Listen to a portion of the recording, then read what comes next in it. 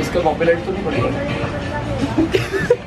This is the episode 10 of student transformation plan और ये जो है हमारा बजट ग्रोसरी शॉपिंग के ऊपर है, जिसका सबको बहुत टाइम से वेट था। ग्रोसरी शॉपिंग का मतलब है कि मैं आपको बताऊँ कि कौन कौन सी चीज़ें हैं कौन कौन सी आइटम्स हैं, कितने रुपए की हमें पड़ेगी, कहाँ से मिल सकती हैं, उनके क्या क्या यूजेस हैं। वो सब आइटम्स जो हमें इस प्लान या न्यूट्रिशन प्लान को डिज़ाइन करने के लिए चाहिए होंगी। अब ये सारी आइटम्स मैं बताऊँ, इससे पहले कुछ चीज़ें डिस्कस करना चाहता हूँ। सबसे पहले तो दो कैटेगरीज में हम स्टूडेंट्स को डिवाइड कर देते हैं। एक तो वो स्टूडेंट्स होते हैं जो घर पे रहते होते हैं, यानी कि माँ बाप के साथ रहते हैं फैमिली के साथ रहते हैं और वो कॉलेज जाते हैं स्कूल जाते हैं। दूसरी कैटेगरी के वो स्टूडेंट्स होते हैं जो हॉस्टल में रहते हैं या अकेले रहते हैं या जो अपने ग्रोसरी का सामान है, अपनी पॉकेट मनी में से लेके आते हैं। जो पहले कैटेगरी के स्टूडेंट्स होते हैं, उनके लिए तो इतने बजट का इशू नहीं होता बिकॉज़ उनकी फैमिली या जो उनके पेरेंट्स होते हैं, उनको वो चीज़ें प्रोवाइड कर देते हैं घर में रहने की बजाय। क्योंकि अगर आपको रोटी चाहिए, दाल चाहिए, चावल चाहिए तो वो तो घर में नॉर्मली बनती है तो आपका कैसा बजट बनता है? बहुत ही कम बजट आता है आपका। लेकिन जो हॉस्टलर्स होते हैं प्लीज़ याद रखिए कि आपका बजट हमेशा डे स्कॉलर से ज़्यादा ही होने वाला है। आपको अलग से आइटम्स खरीदनी पड़ेंगी तो आपका जो महीने का पॉकेट मनी होगा, वो ज़्यादा खर्च होगा, आपके जो खर्चे हैं वो ज़्यादा बढ़ते रहेंगे जिम की फ़ीस भी आपको खुद ही देनी पड़ेगी। तो प्लीज़ इस चीज़ को ध्यान रखिए, इससे पहले आप डिसाइड करें, क्योंकि मैं एंड में आपको बताऊँगा कि हमें प्रॉपर जो बजट पड़ेगा इस पर्टिकुलर प्लान के लिए न्यूट्रिशन प्लान के लिए, वो कितना हो तो आई डोंट वॉन्ट कि आप डिसअपॉइंट हो जाए, कि अभिनव सर हमने तो सोचा था कि आप सस्ते में बताएँगे। मेरी जो यहाँ पे कोशिश होने वाली है, वो ये है कि कम से कम बजट में आपको बेहतरीन से बेहतरीन चीज़ें, लेकिन जो इजिली अफोर्डेबल है इजिली अवेलेबल है, किसी भी तरह के आप एरिया में रह रहे हैं, वहाँ पे आपको अवेलेबल हो सकती है। आइडिया नहीं होता कि ये चीज़ें चाहिए भी होती है या ये खरीदनी भी पड़ती है।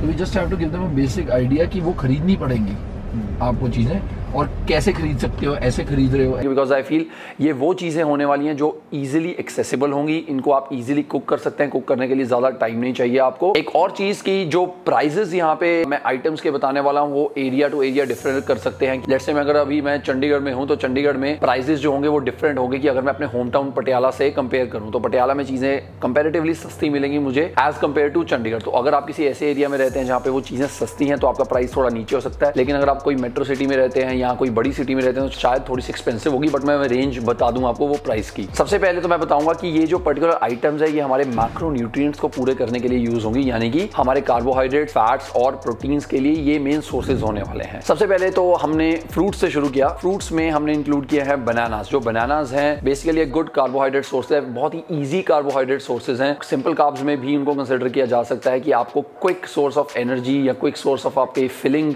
जो फुल फील करवाता है आपको पेट में, वो इजिली एक्सेसिबल चीज़ जो होती है, वो बनाना हो सकते हैं। जो केले हैं ब्राउन होने ब्राउन येलो ब्राउन भी होना चाहिए नॉर्मली जो एक डजन बनानाज होते हैं, वो 40 से 60 रुपए के अराउंड पड़ते हैं डिपेंडिंग आप कहाँ पे रह रहे हैं। But bananas is a very easy option because जब आप सुबह कोई भी सीरियल बनाते हैं, जैसे कोई म्यूसली या ओटमील या दलिया बनाते हैं, उसमें काट के डाल सकते हैं। अगर आप वर्कआउट से पहले आपको बहुत ज़्यादा भूख लग रही है और आप कुछ खाना चाहते हैं तो banana is can be one of the best source जो आप एकदम से खा के आधे घंटे के बाद या पंद्रह बीस मिनट के बाद भी आप सीधा वर्कआउट में जाएँगे तो आपको डाइजेस्टिव इशू नहीं होगा। जो हमारी दूसरी चीज़ होने वाली है ग्रोसरी शॉपिंग लिस्ट में, वो होगी हमारी एप्पल्स अब एप्पल्स जो है सिर्फ़ एक आपको चेंज करने के लिए आपका टेस्ट थोड़ा सा बिकॉज़ मैं ये नहीं चाहता कि आप पूरा दिन बनाना ही खाते रहे। एप्पल्स एक अलग तरह का फ्रूट हो जाएगा, जिससे आपको अलग तरह के माइक्रो न्यूट्रिएंट्स मिल सकते हैं मिनरल्स मिल सकते हैं। सो एप्पल्स थोड़े से एक्सपेंसिव पड़ते हैं, अगर आप अफोर्ड कर सकते हैं तो I think eighty to hundred rupees per के ऑफ़ एप्पल्स आपको मिल जाएँगे। Again it's a very good carbohydrate source आप अगर एप्पल्स के अलावा कोई और सीजनल फ्रूट अवेलेबल है, जैसे पपाया हो जाता है या पाइन लेना चाहते हैं, अगर आप इजीली उसको कट कर सकते हैं तो आप उसको भी ले सकते हैं।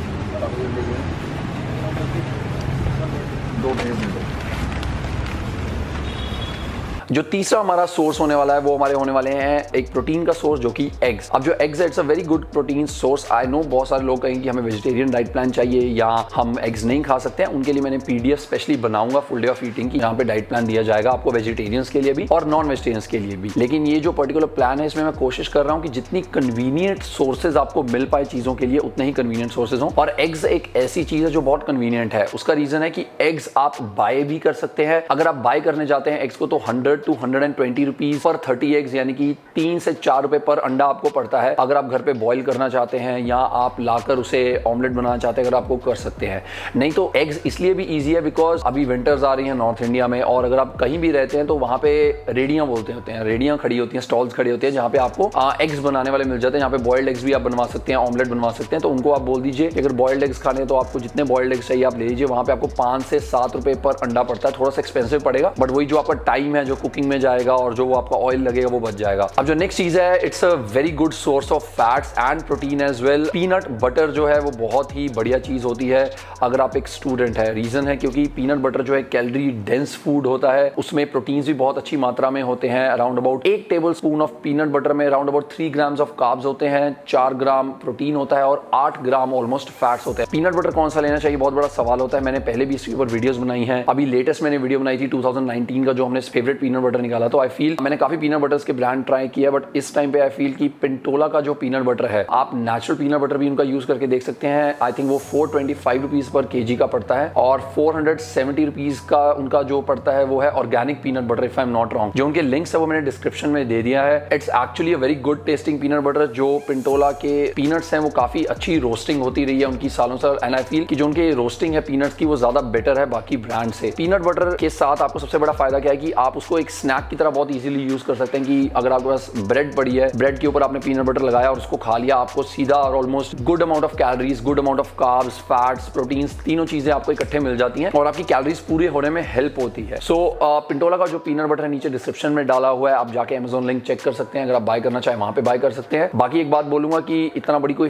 फाइट नहीं होती है अगर आपको कोई और पीनट बटर एक्सेसिबल है आपके पास और पिंटोला नहीं मिल सकता है आपकी जगह पे नहीं आ सकता है तो आप उसे भी ले सकते हैं बट मेरा जो काम है आपके लिए जितना सिंप्लीफाई कर पाऊँ चीज़ों को उतना करना है तो इसलिए आई वुड रिकमेंड कि अगर आप कंफ्यूज हैं तो आप पिंटोला पीनट बटर के साथ चले जाइए you won't be disappointed what's up और अगर जो लोग पीनट बटर नहीं ले सकते हैं वो प्लीज़ ये पीनट्स आते हैं उनको यूज़ कीजिए तो आपकी डाइट पूरी हो जाएगी।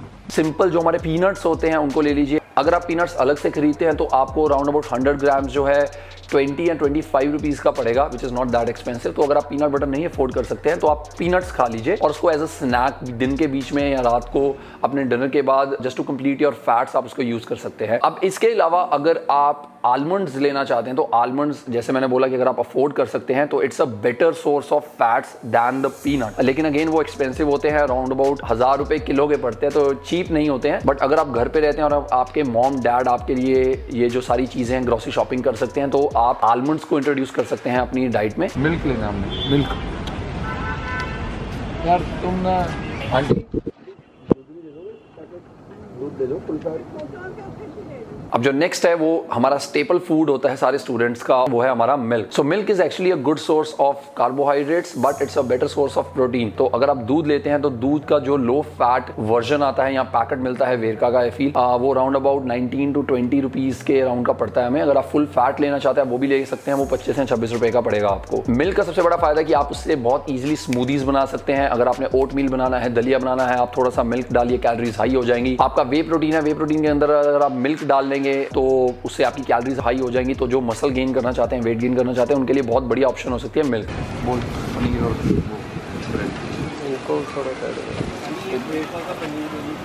नेक्स्ट इंग्रेडिएंट जो होने वाला है, वो एक बहुत ही बढ़िया सोर्स ऑफ़ फैट्स होने वाला है और वो है हमारा पनीर। अब जो पनीर है, उसमें सैचुरेटेड फैट्स होते हैं, उसमें कोलेस्ट्रॉल भी होता है, लेकिन प्लीज़ याद रखिए कि सैचुरेटेड फैट और कोलेस्ट्रॉल होने का ये मतलब नहीं कि वो गंदा है। आपकी बॉडी में जो कोलेस्ट्रॉल हाई होता है, वो एक्सटर्नली जो आप कोलेस्ट्रॉल खाते हैं, उसकी वजह से ज़्यादा नहीं होता है। वो आपकी लाइफ हैबिट्स एक्सरसाइज ना लगाना, बहुत ज़्यादा सिंपल कार्बोहाइड्रेट्स खाना, उसकी वजह से कोलेस्ट्रॉल हाई होता है। लेकिन अगर आप कंट्रोल्ड और मॉनिटर्ड वे में पनीर या सैचुरेटेड फैट या कोलेस्ट्रॉल अपनी डाइट में इंट्रोड्यूस करेंगे तो आपको किसी तरह की दिक्कत नहीं होगी। तो पनीर जो है आपको अराउंड अबाउट 50 टू 55 रुपीस का पड़ेगा around 200 gram so paneer can also be a very good snack option कि अगर आप दो ब्रेड स्लाइसिस के अंदर एक पनीर की स्लाइस काट के डाल देंगे तो वो आपको फैट्स भी अच्छे देगा आपको प्रोटीन भी अच्छे देगा और आपको काब्स भी अच्छे देगा बिकॉज़ जो 100 ग्राम ऑफ़ पनीर होता है आई थिंक उसमें around about 18 to 19 grams of protein होता है 20 ग्राम्स ऑफ़ फैट्स होता है। तो आपके फैट्स की जो रिक्वायरमेंट है और प्रोटीन की रिक्वायरमेंट है वो इजिली पूरी हो सकती है।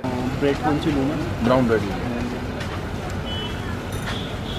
अब जो नेक्स्ट है वो सबका चहेता है और सबसे इजी ऑप्शन है वो है हमारी brown bread so brown bread जो हमारी होगी वो बहुत ही एक अच्छा स्नैक बना सकती है इवन अगर आप ब्रेकफास्ट में टाइम नहीं है आपके पास, आप कुक नहीं कर सकते तो आप ब्रेड को यूज़ कर सकते हैं अपने टाइम को बचाने के लिए और एक अच्छी सोर्स ऑफ़ कैलोरीज को इंट्रोड्यूस करने के लिए अपने डाइट में. तो जो एक ब्रेड का पैकेट होता है ब्राउन ब्रेड का, वो I think around about twenty five rupees पूरा पैकेट मिल जाता है आपको. So it's not that expensive to be very honest teenager भाई के साथ यार जो मैं बोल रहा सुनते रहो मैं बड़ा हूँ मैं ठीक हूँ। सॉरी एक्सपीरियंस को।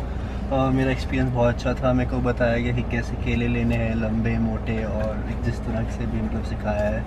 जो नेक्स्ट ऑप्शन है हमारे पास, ये बहुत लोगों को लगेगा कि फैंसी ऑप्शन है बट आई फील कि ये जो ऑप्शन है, ये बहुत ही क्विक ऑप्शन है अगर हम कुकिंग की बात करें। और ये है हमारी ओट मील बहुत सारे लोग दलिया भी खाना चाहेंगे ओट मील की जगह पे, लेकिन याद रखिए कि दलिए को ना कुक करने का बहुत ही बड़ा झंझट होता है। तो अनलेस आप घर पे हैं और आपके पास बहुत ज़्यादा टाइम है उसको कुक करवाने के लिए तो आई सजेस्ट कि आप ओट मील ले लीजिए। ओट मील जो है आपको क्वेकर्स ब्रांड का या किसी भी ब्रांड का अच्छा सा मिल जाएगा। वो आपको कॉस्ट करेगा around about one two one fifty पर के again it's a complex source of carbohydrate ये आपको सस्टेन्ड अमाउंट ऑफ़ एनर्जी देता रहेगा पूरे दिन के थ्रू एक चीज़ है कि अगर आप ओटमील खा रहे हैं तो please at least one and half to two hours तक आप एक्सरसाइज मत कीजिए बिकॉज़ वो स्लो डाइजेस्टिंग होता है, उसमें फाइबर होता है. So at least one and half या टू आवर्स का डिफरेंस रखे ओटमील खाने के बाद अगर आप वर्कआउट करने जा रहे हैं. इसके अलावा जो डेली सैलड्स होते हैं और वेजिटेबल्स होती हैं, वो भी आप ले सकते हैं. लेकिन अगर आप एक हॉस्टलर है या आप खुद कुकिंग कर रहे हैं कहीं जगह पे, आपको टाइम नहीं होता है तो it becomes very difficult for you so guys ये तो एक छोटी सी लिस्ट थी. अब बात आती है फाइनल प्राइसिंग की. मैं ये भी एज्यूम कर रहा हूँ कि बहुत सारे लोग इसके अलावा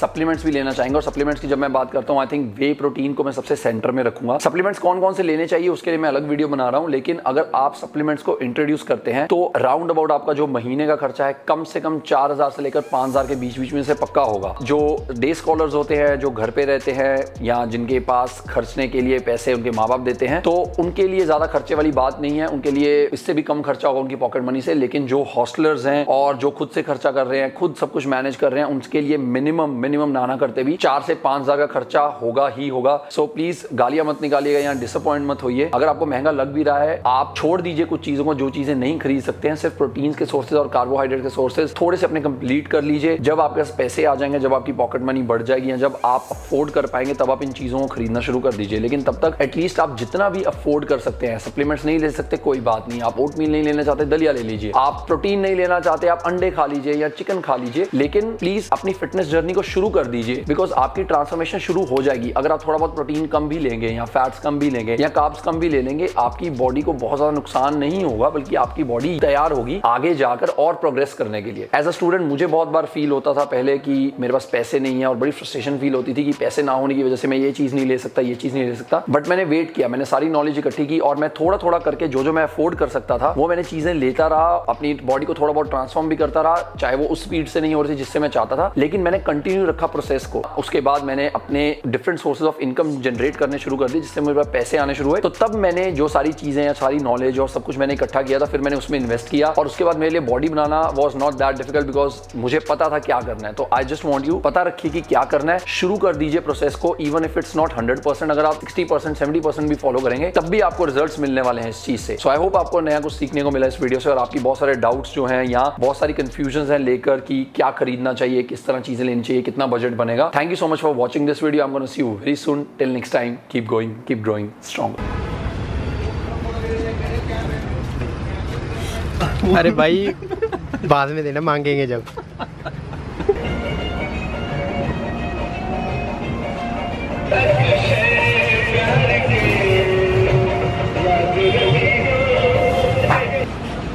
इसका कॉपीराइट तो नहीं पड़ेगा।